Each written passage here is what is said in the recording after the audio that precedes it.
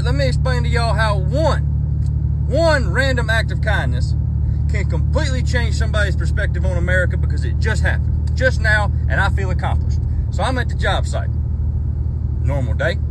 It starts raining. And I'm talking about it ain't just raining. It's, it's raining like a two-cunted heifer pissing through a pole bridge. I'm talking about it starts coming down. So we get rained out at the job site. Now I'm on my way home.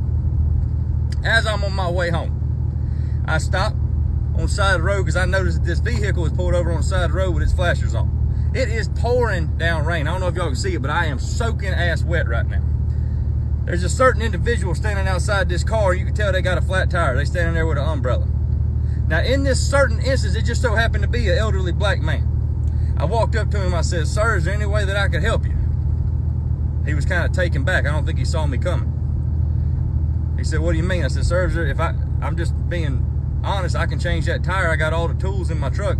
If you got a spare, I can change it. If not, I can take that one off and we can run right down the road to the tire shop and I can bring you back and I'll throw it on for you then and get you back on the road. Well, you could tell this man was really taken back. But he looked at me and said, that'd be mighty nice of you. I said, do you have a spare? He said, yes, sir. Reached in the trunk, got a spare. Well, I go into work on this on this tire, getting this boy's tire changed. And he wouldn't, I, I told him, I said, sir, you can get back in the car. You ain't got to stand out here in the rain. But he refused to do so, so he just stood there with his umbrella right beside me.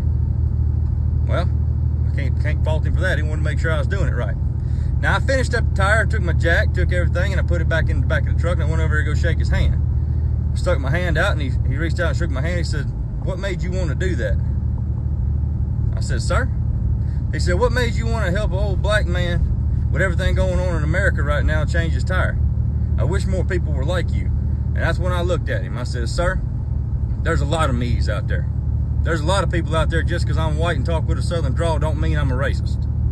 Okay? There's a bunch of me's out there, but because of a few idiots that are lumped in with a radicalist group, it gives everybody that's white a bad name. The same way that some people of your race right now are acting a damn fool and it's lumping everybody of your race in with them radicalists. He just looked back at me, he said, he said, well, I can't thank you enough to owe you anything. I said, no, I just want you to change your perspective.